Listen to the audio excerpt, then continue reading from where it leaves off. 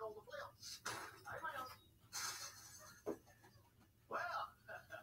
That was brief. Hey, y'all.